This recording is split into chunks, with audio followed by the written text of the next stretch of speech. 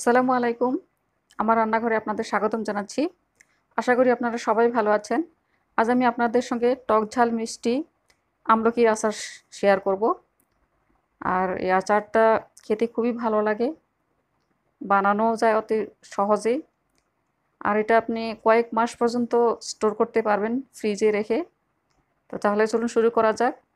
এখানে আমি আধা কেজি আমলকি নিয়েছি আর এটা আমি সেদ্ধ করছি। আর এটা আমি পুরোপুরি সেদ্ধ করব না, আধা সেদ্ধ করব। দেখতে পাচ্ছেন এটা আধা সেদ্ধ হয়ে গেছে।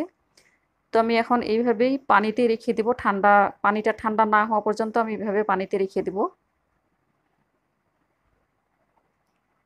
ঠান্ডা হওয়ার পর আমি এখন আমলকিগুলো একটু ফাটিয়ে বের করে নেব, বিচি ভিতর থেকে বের করে নেব। তো আমি আচারটাতে বিচিগুলো দিব না, তাই বিচিগুলো বের করে নিচ্ছি। তো যাতে ভেঙে না যায় সেটা লক্ষ্য করবেন। তো এইভাবে ছাড়িয়ে নিলেই হবে।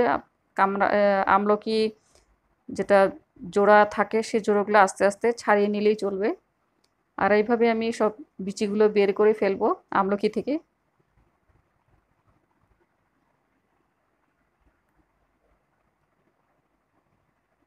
তো এইভাবে আমি সবগুলো বিচি ছাড়িয়ে নিয়েছি। আর এদিকে আমি সর্ষের তেল গরম করে নিয়েছি। তারপর আমি ছাড়ানো আমলকিগুলো তেলে দিয়ে দিচ্ছি এখন।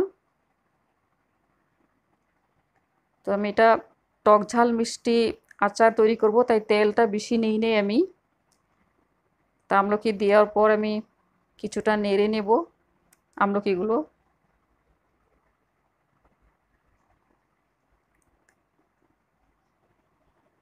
এটা নেড়ে নেওয়ার পর আমি এখন লবণ দিয়ে দিচ্ছি। লবণ খুব বেশি দেব না, যেহেতু এটা মিঠা, মিষ্টি আচার হবে। তারপর এক চা চামচ আমি মরিচের গুঁড়ো দিয়ে দিচ্ছি। দুই চা চামচ চিলি ফ্লেক্স দিয়ে দিচ্ছি। ছয় টেবিল চামচ আমি চিনি দিয়ে দিচ্ছি, যেহেতু মিষ্টি আচার, তাই একটু চিনিটা বেশি লাগবে। আর চিনি দেওয়ার পর আমি ভালো করে মিক্স করে এটা চিলি গলে না যাওয়া পর্যন্ত মিডিয়াম আঁচে আমি রান্না করব।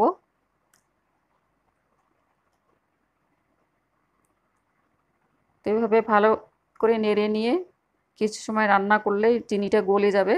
আপনি দেখতে পাচ্ছেন চিনিটা গলে গেছে চিনিগুলো। তো আমি আগেই বলেছি আমি আমলকিগুলো পুরোপুরি সেদ্ধ করে নিয়ে আমি আধা সেদ্ধ করেছিলাম, তাই পাঁচ মিনিট পর্যন্ত এইভাবে আমি রান্না করব। তো পাঁচ মিনিট পর দেখতে পাচ্ছেন কিছুটা চিনিটা ঘন হয়ে এসেছে। তো এখন আমি কতগুলো আদা দিয়ে দিলাম। আদাগুলো আমি পাতলা পাতলা করে কেটে নিয়েছি। আধা চা চামচ আমি লং দিয়ে দিচ্ছি আর আধা চা চামচ গোলমরিচ দিয়ে দিচ্ছি। আর এই তিনটে জিনিস দিলে একটা খুব সুন্দর গন্ধ আসে আর খেতেও ভালো লাগে। তো এই তিনটে জিনিস দিতে ভুলবেন না এই আচারটাতে। আর এটা দেওয়ার পর কিছুক্ষণ আমি রান্না করব। তো এইভাবে রান্না করার পর এখনও পুরোপুরি সেদ্ধ হয়নি আমলকিগুলো। তো আমি এখন এতে আধা কাপ ভিনেগার অ্যাড করব। আর ভিনেগারটা দেওয়ার জন্য এটা স্টোর করা যায় অনেক দিন পর্যন্ত। তো আমি এই আচারটা ফ্রিজে রেখে প্রায় বছর মতো আমি স্টোর করি। তো এইভাবে মিক্স করার পর আমি আরও কিছুক্ষণ রান্না করব। এটা ভিনেগারটা শুকিয়ে না যাওয়া পর্যন্ত। তো এখন আমি আধা চা চামচ পাঁচফোড়নের গুঁড়ো দিয়ে দিলাম। এতে খুব সুন্দর একটা ফ্লেভার আসে। এখন আমি ভিনেগার শুকিয়ে না যাওয়া পর্যন্ত ও চিনি শিরাটা ঘন হয়ে না আসা পর্যন্ত রান্না করব। এখন দেখতে পাচ্ছেন যে শিরাটা অনেকটা ঘন হয়ে এসেছে। তো এর চেয়ে বেশি ঘন করবেন না, কারণ ঠান্ডা হওয়ার পর আরও ঘন হয়ে যাবে। আর আমলকিগুলো সেদ্ধ হয়ে গেছে, পুরোপুরি আপনি দেখতেই পাচ্ছেন। তো আচারটা পুরোপুরি তৈরি হয়ে গেছে। তো ঠান্ডা হওয়ার পর বোতলে ভরে আপনি ফ্রিজে রেখে দিন। প্রায় বছরখানেক আপনি স্টোর করতে পারবেন। খেতেও খুব ভালো লাগে। আশা করি আমার রেসিপিটা আপনার ভালো লাগবে।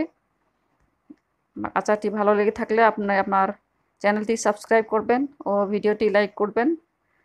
আবার একটি নতুন রেসিপি নিয়ে হাজির হব। আল্লাহ হাফিজ।